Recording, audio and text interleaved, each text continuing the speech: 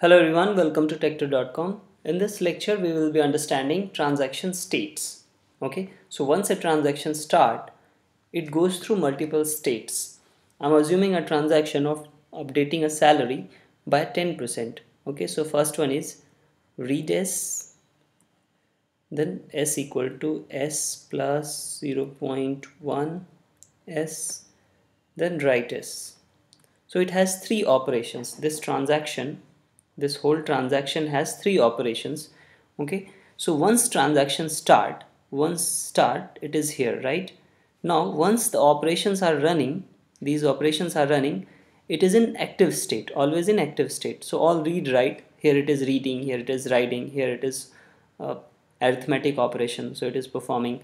So all operations when these operations are performed being performed it is in active state okay? Once all operations are finished the transaction has to end okay? So then it will go to partially committed because it will start commit here. Once commit start it will be at partially committed stage okay? Because even after this value has been written okay this value has been committed it's in ram okay? It's it's initially in ram. So now let's say when the value is in the ram block and hardware fails then what will happen? Because RAM is a volatile memory it's not anything stored yet in the hard disk so this value will be lost right? The whatever is now committed will be lost.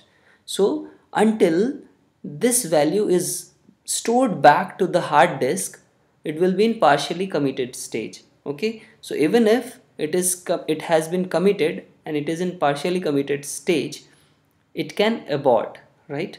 Because due to hardware failure this is due to hardware failure. So due to hardware failure this can be aborted and transaction will be failed.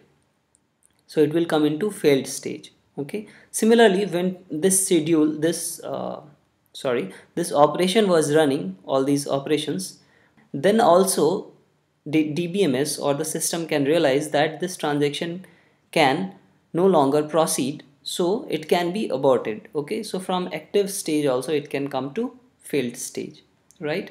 Now once this is from RAM it is written to hard disk. Once it is written to hard disk it will be committed okay? So once it is committed then it is safely terminated. Transaction will be safely terminated with the completion of transaction.